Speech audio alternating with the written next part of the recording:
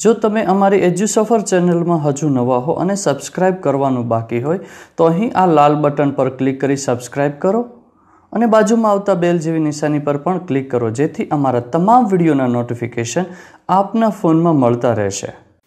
નમસ્તે મિત્રો. એજ્યુસફર પરિવારમાં હું હરેશ જેઠવા આપનું સ્વાગત કરું છું. ઇનડાયરેક્ટ સ્પીચમાં જે મુખ્ય ત્રણ ફેરફાર અવતન ચિહ્નના વાક્યમાં જે થાય છે, તેમાં મેં તમને બે ફેરફારની માહિતી આપી દીધી છે. ચેન્જ ઇન પ્રોનાઉન સર્વનામમાં થતા ફેરફાર. ચેન્જ ઇન ટેન્સ કાળમાં થતા ફેરફાર. આ મેં માહિતી તમને આપી દીધી. આ વિડીયોની અંદર ત્રીજો ફેરફાર, છેલ્લો ફેરફાર. ચેન્જ ઇન નિયરેસ્ટ વર્ડ્સ એટલે કે નજીકતા દર્શક શબ્દોમાં ફેરફાર. જો ઇંગ્લિશમાં મેં શબ્દ અહીંયા વાપરો છે ચેન્જ ઇન નિયરેસ્ટ વર્ડ્સ તો ત્રણેય ફેરફાર છે એના માટે મેં ઇંગ્લિશમાં શબ્દો વાપર્યા. ચેન્જ ઇન પ્રોનાઉન્સ સર્વનામમાં ફેરફાર. ચેન્જ ઇન ટેન્સ કાળમાં ફેરફાર. ચેન્જ ઇન નિયરેસ્ટ વર્ડ્સ નજીકતા દર્શક શબ્દોમાં ફેરફાર. તો આ ત્રણ ફેરફાર છે. એ ત્રણ ફેરફાર અવતન ચિહ્નની અંદર જે વાક્ય હશે, એમાં આપણે કરીશું. જો આ સમજી જ લેજો કે આ ત્રણ ફેરફાર એ અવતન ચિહ્નની અંદર રહેલા વાક્ય.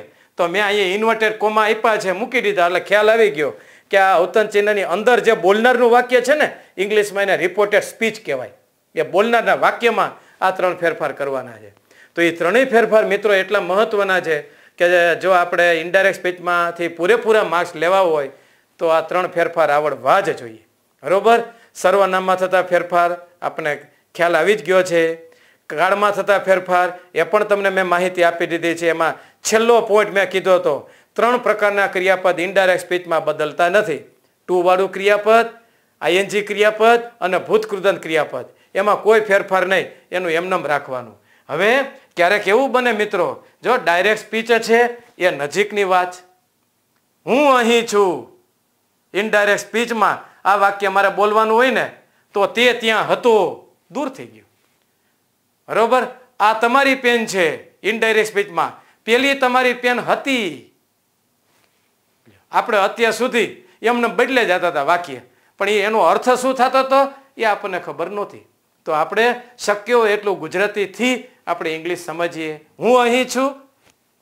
ડાયરેક્ટ સ્પીચ તે ત્યાં હતો ઇનડાયરેક્ટ સ્પીચ તો અહીં અહીં એટલે હિયર તો ઇનડાયરેક્ટ સ્પીચમાં ધેર થઈ જાય. જો? હું અત્યારે તમને ડાયરેક્ટ ઇનડાયરેક્ટ સ્પીચ ભણાવી રહ્યો છું. આ વાક્ય ઇનડાયરેક્ટ સ્પીચમાં તે, ત્યારે. જો? અત્યારેનું, ત્યારે. I am teaching direct indirect speech now તો આઈનું હી થઈ ગયું, એમનું વોશ થઈ ગયું, નાવનું ધ્યાન થઈ ગયું. He was teaching indirect speech ધ્યાન. તો ડીએસમાંથી વાક્યને તમે આઈએસમાં આઈએસમાં ફેરવશો, ત્યારે ક્યારેક તમને નજીકતા દર્શક શબ્દ, બોલનારનું જે વાક્ય હોય એમાં તમને વાક્યની શરૂઆતમાં જોવા મળશે, વાક્યને અંતે જોવા મળશે, કેટલાક શબ્દો તમને વાક્યને વચ્ચે પણ જોવા મળશે. તો જે કોઈ નજીકતા દર્શક શબ્દો છે, એ ઇન્ડાયરેક્ટ સ્પીચમાં દૂરનું સૂચન કરતા શબ્દોમાં ફેરવાય છે. પણ શરત એટલી રિપોર્ટિંગ વર્ક ભૂતકાળમાં હોવું જોઈએ. બરોબર? એ તો એ તો તમને ખ્યાલ જ આવી ગયો ને એ જ વધારે હશે. સેડ અને ટોલ્ડ જ હશે. બરોબર? તો ડાયરેક્ટ સ્પીચ એટલે નજીકની વાત. બરોબર? ઇનડાયરેક્ટ સ્પીચ એટલે દૂરની વાત. ડાયરેક્ટ સ્પીચ એ વર્તમાન કાળની વાત. વર્તમાન કાળની વાત. ઇનડાયરેક્ટ સ્પીચ એ ભૂતકાળની વાત. ભૂતકાળની વાત. લ્યો.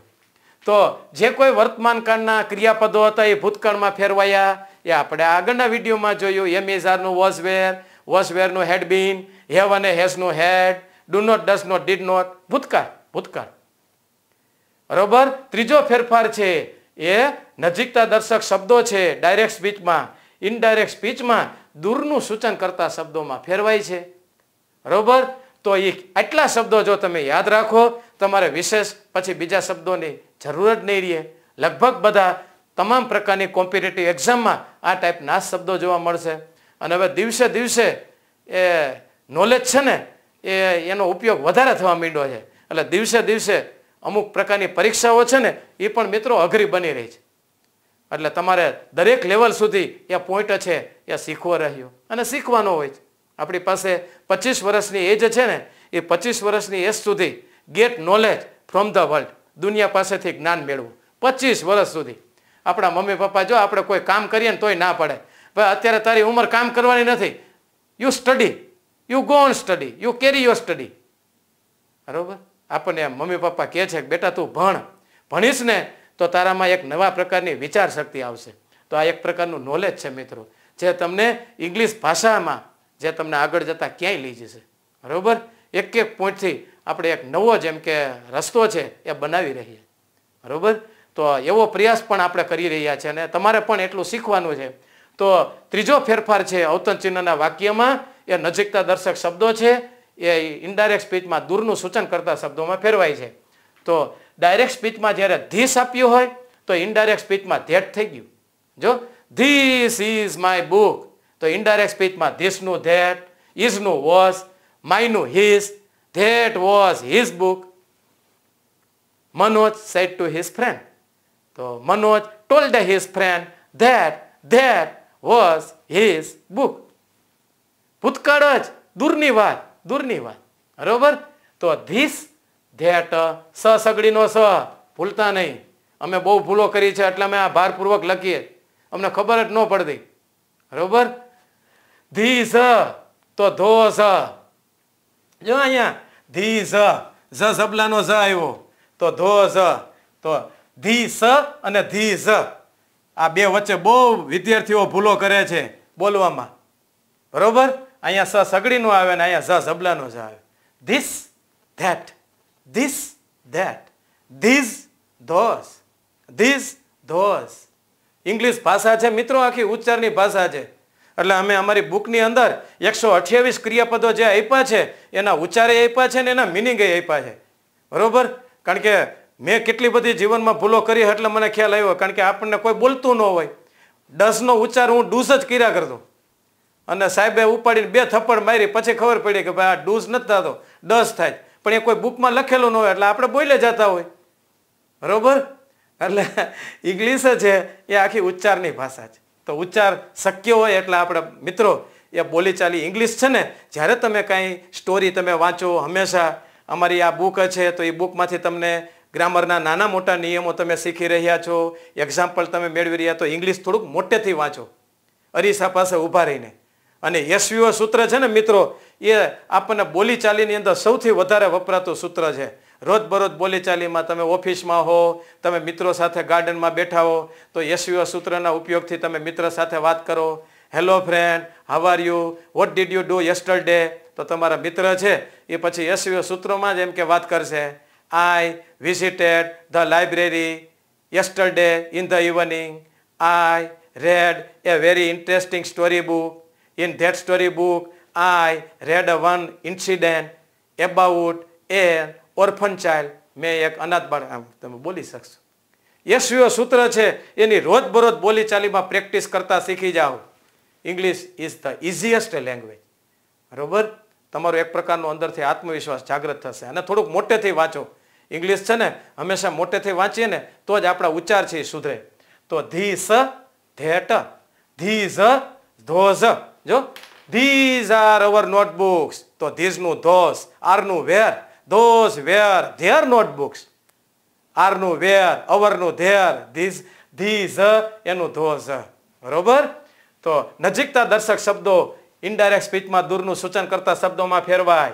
હિયર હિયર એટલે અહીં. ધેર ધેર એટલે ત્યાં. હું અહીં છું. ઇનડાયરેક્ટ સ્પીચમાં તે ત્યાં હતો. દૂરનું સૂચન. જો, અહીં ત્યાં. ત્યાં એટલે થોડુંક દૂર. તો હિયર તો તેનું ધેર થશે. નાવ નાવ એટલે અત્યારે, ધ્યાન એટલે ત્યારે. જો, અત્યારે હું જમી રહ્યો છું. આનું ઇન્ડાયરેક્ટ સ્પીચ તે ત્યારે જમતો હતો. આઈનું તે થઈ ગયું. જો, છૂનું હતો થઈ ગયો. અને અત્યારેનું ત્યારે થઈ ગયું. નાવનું ધ્યાન. ધ્યાનનો સ્પેલિંગ ધ્યાન રાખજો મિત્રો, અનેક કોમ્પિટેટિવ એક્ઝામમાં પૂછાય. ધ્યાન ધ્યાન અને આ ધ્યાન. એ બે વચ્ચેનો ડિફરન્સ ખ્યાલ આવી જવો જોઈએ. આ ધ્યેન છે એ કમ્પેરેટિવ ડિગ્રીમાં વપરાય. અને આ ધ્યેન છે એ ઇનડાયરેક્ટ સ્પીચમાં ચાલુ ભૂતકાળમાં આવે, મોટે ભાગે. જો I am teaching grammar now indirect speech he was teaching grammar then નાવનું ધ્યાન થઈ ગયું. નાવ એટલે અત્યારે ધ્યાન એટલે ત્યારે. એગો એટલે પહેલા. બિફોર એટલે તેની પહેલા. એ બે દિવસ પહેલા જ, હજી મેં આ જ જગ્યાએ અકસ્માત જોયો હતો. I saw an accident two days ago તો I he had seen an accident two days before એમ મારે કરવાનું. બરોબર? તો એગો છે, તેનું બિફોર થશે. એગો એટલે પહેલા બિફોર એટલે તેની પહેલા. ભૂતકાળ, દૂરનું. આ બધા જ શબ્દો છે મિત્રો. એ દૂરનું સૂચન કરતા જાય છે. ટુડે એટલે આજે ધેટ ડે એટલે તે દિવસે. જો? Today I am playing cricket. Today I will visit the garden હું આજે બગીચાની મુલાકાત લઈશ. તો ટુડેનું ધેટ ડે આઈનું હી વિલનું would bus. That day he would visit the garden ભૂતકાળની વાત. જો ઇનડાયરેક્ટ સ્પીચ એટલે ભૂતકાળની વાત ઇનડાયરેક્ટ સ્પીચ એટલે દૂરની વાત. ટુડે ધેટ ડે આજે તે દિવસે. Tonight that night tonight some guest are going to visit our house આજે રાત્રે આપણી ઘરે કેટલાક મહેમાનો આવી રહ્યા છે. ટુ નાઇટનું ધેટ નાઇટ સમ ગેસ્ટ એમને પડ્યું રહેશે. Are where this night that night બરોબર? તો ટુ નાઇટ છે, તો એનું ધેટ નાઇટ થશે. Yesterday the previous day. આગળ ધ લગાડવાનું ભૂલતા નહીં. જ્યાં જ્યાં એમ કે ક્રિયાદર્શક શબ્દો છે, એની આગળ ક્રિયા વિશેષણ આ સમય સૂચવે છે. તો એ સમય બતાવતા શબ્દો છે મિત્રો. એની આગળ આર્ટિકલ ધ કેટલાય વિદ્યાર્થીઓ ભૂલ કરી નાખે. ખાલી પ્રીવિયસ મૂકે. ના, આપણે ધ પ્રીવિયસ બરોબર? યસ્ટરડે એટલે ગઈકાલ. ધ પ્રીવિયસ ડે એની પહેલાની કાલ. લ્યો, ભૂતકાળ જ સૂચવે છે. પ્રીવિયસનો સ્પેલિંગ યાદ રાખી લેવો. P R E V I S the previous the previous learn કરી લેવાનું. કોઈ પણ સ્પેલિંગ અઘરો આવ્યો, મનમાં ત્રણ વખત યાદ કરી લ્યો. એટલે સ્પેલિંગ ત્રણ બે મિનિટ પછી તમારો થઈ જશે. Yesterday the previous day yesterday the previous day yesterday the previous day બસ પૂરું. કાળજી રાખો બસ. માણસ, એટલે કાળજી. એનું નામ જ માણસ કહેવાય, જેની પાસે કંઈક કાળજી હોય, જેને કંઈક કામ કરવાની ધગસ હોય. બરોબર? બાકી ગમે એવું શરીર આપણે એમ કે શું છે, જમીન બેઠા હોય, એ કાંઈ બદામ ખાવાથી કાંઈ આઈસ્ટાઈન નથી બનાતું. એના માટે કાળજી રાખવી પડે છે, એના માટે પુરુષાર્થ કરવો પડે છે. બરોબર? પુરુષ ઉપરથી જ પુરુષાર્થ શબ્દ આવ્યો છે. તો પુરુષ છે, એ હંમેશા કામ જ કરતો હોય છે આપણે આખો દિવસ બહેનોની જેમ ઘરે બેઠા રહીએ વી આર ડુઈંગ નથિંગ આપણે કાંઈ નહીં કરી શકીએ. મિત્રો, આ લાઈફ છે, એ ખૂબ પ્રેશિયસ છે. જ્યારે તમે વિચારવાની શરૂઆત કરો, સારું કામ કરવાની. તો ટુ નાઇટ ધેટ નાઇટ તે રાત્રે. યસ્ટરડે ધ પ્રીવિયસ ડે તેની પહેલાની કાલ. યસ્ટરડેને ધ પ્રીવિયસ ડેની જગ્યાએ તમે ધ ડે બિફોર પણ વાપરી શકો છો. ધ ડે બિફોરનો અર્થ જ એમ થાય છે, એની પહેલાંની કાલ. પણ બની શકે ત્યાં સુધી ધ પ્રીવિયસથી કામ ચલાવજો, એટલે ભૂલ નહીં થાય. ક્યારેક એમ કે છે ને બિફોરની જગ્યાએ આપણે આફ્ટર મૂકીને આવતા રહી બરોબર? એટલે અમારાથી ભૂલ થઈ છે, એટલે અમે આ શબ્દો ઉપર વધારે ભાર મૂકીએ છીએ. યસ્ટરડે ધ પ્રીવિયસ ડે અથવા the day before tomorrow tomorrow એટલે આવતીકાલ. તો એના પછીની કાલ એટલે ધ નેક્સ્ટ ડે. બરોબર? ટુ મોરોની માથે એક મોરો નથી મૂકવાનું. બરોબર? ટુ મોરો છે ધ નેક્સ્ટ ડે, એટલે કે એના પછીના દિવસે. બરોબર? આવતીકાલ પછીનો દિવસ, એટલે ધ નેક્સ્ટ ડે. બરોબર? લાસ્ટ લાસ્ટ શબ્દ જ્યારે, ધ ધ નેક્સ્ટ ડે અથવા તો ધ ડે આફ્ટર. યસ્ટરડે હોય, ત્યારે બિફોર આવે. ટુમોરો હોય, ત્યારે આફ્ટર આવે. જો આ યાદ રાખવું હોય તો. બાકી તો ધ નેક્સ્ટ જ ઇમ્પોર્ટન્ટ છે. અહીંયા ધ પ્રીવિયસ ઇમ્પોર્ટન્ટ છે. ઓકે? તો યસ્ટરડે, ધ પ્રીવિયસ ડે અથવા the day before. Tomorrow, the next day અથવા ધ ડે આફ્ટર. આ બે અગત્યના શબ્દો છે. Last week, last month, last year, last evening, last vacation, લાસ્ટની જગ્યાએ ધ પ્રીવિયસ. આર્ટિકલ ધ, જ્યાં જ્યાં વપરાય છે મિત્રો એ ભૂલતા નહીં. Article the. બરોબર? જો તમે પ્રીવિયસ અહીંયા યાદ રાખ્યું, તો તમારે એ શબ્દ અહીંયા છે. એટલે તમારે કોઈ બે નવા શબ્દો નહીં બને, એક જ શબ્દથી તમને કામ લાગશે. બરોબર? તો last week the previous week ગયા અઠવાડિયે, તો એની પહેલાના અઠવાડિયે, એવો જ ભાવ વ્યક્ત થાય છે. દૂરની વાત. Last month the previous month last evening the previous evening last vacation we visited Matheran આ ગયા વેકેશનમાં અમે માથેરાનની મુલાકાત લીધી હતી. ધ પ્રીવિયસ વેકેશન બરોબર? ઓકે લાસ્ટ મંથથી આપણે આવી ગયું. Next week next month next year તો નેક્સ્ટની જગ્યાએ ધ ફોલોઈંગ યાદ રાખજો. The following week the following month the following year the next vacation the following vacation okay નેક્સ્ટની જગ્યાએ ધ ફોલોઈંગ લાસ્ટની જગ્યાએ ધ પ્રીવિયસ થસ જો અહીંયા મેં ઉચ્ચાર લખી દીધો, અમે બહુ ભૂલો કરી. એટલે મેં અહીંયા ઉચ્ચાર લખીએ થસ એટલે આમ સો એટલે તેમ. બરોબર? તો થસ એનું શો થશે? ક્યારેક ક્યારેક મિત્રો, કમ છે ને, એનું ગો થાય, ક્યારેક ક્યારેક. ગભરાતા નહીં. બરોબર? કમનું તમે કમ જ મૂક્યું, તો વાક્ય ખોટું નહીં પડે. પણ આ તો એક પોઈન્ટ તરીકે. બોલનાર અને સાંભળનાર બંને એક જગ્યાએથી બીજી જગ્યાએ જતા હોય ને, ત્યારે ક્યારેક કમની જગ્યાએ ગો કરવામાં આવે છે. અધરવાઇઝ કમનું કમ જ રાખો. તમારું વાક્ય સાચું જ પડશે. તો આ વિડીયોની અંદર જે કંઈ અગત્યના નજીકતા દર્શક શબ્દો હતા તે દૂરનું સૂચન કરતા શબ્દોમાં કેવી રીતે ફરે છે? યાદ રહી જ જવા જોઈએ. યાદ રાખી શકો છો. એકથી વધારે તમે પ્રેક્ટિસ રાખો. બરોબર? ફક્ત એક વખત વાંચવાથી ક્યારેય કોઈ વસ્તુ આવડતી નથી. આપણે આપણા માઇન્ડને એ તરફ સેટ કરી નાખો. અહીંયા એમ કે હાથ રાખી અને યાદ કરતા જાઓ. ધી સ that, these, those here, there ago before, now, then, yesterday, the previous day, the day before, tomorrow, the next day, the day after, last, the previous, next, the following. Hence, so છે, thus છે, તો સો આવશે. કમ છે, તો એનું go. ક્યારેક ક્યારેક જૂની બુકની અંદર અહીંયા હેન્સ જોવા મળે. તો ઇનડાયરેક્ટ સ્પીચમાં એનું ધ્યાનસ કરી નાખવાનું. પણ આ તો જૂની ગ્રામરની બુક બાકી લગભગ બધા આ જે શબ્દો હતા, એ શબ્દો મેં તમને માહિતી આપી દીધી. તો ઇનડાયરેક્ટ સ્પીચની અંદર બહુ જ અગત્યના ત્રણ ફેરફાર. સર્વનામ, કાળ અને નજીકતા દર્શક શબ્દ. એ ફેરફાર મેં તમને આ વીડિયો દ્વારા માહિતી આપી. ચોક્કસ મિત્રો ઇનડાયરેક્ટ સ્પીચ વિશે તમારી જે કાંઈ કન્ફ્યુઝન હતી, એ તમે અમારા વીડિયો જોશો.